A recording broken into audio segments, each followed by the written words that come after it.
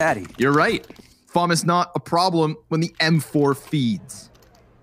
That was a beautiful round from valde for more than just the kills. He had perfect trust in his teammates. Here in Underpass, he trusted himself. He stood around, waited for this fight, and didn't get caught falling back. And then when he came out to mid, threw his own smoke for himself to hold on to information. This is why he knew they were going to go back to A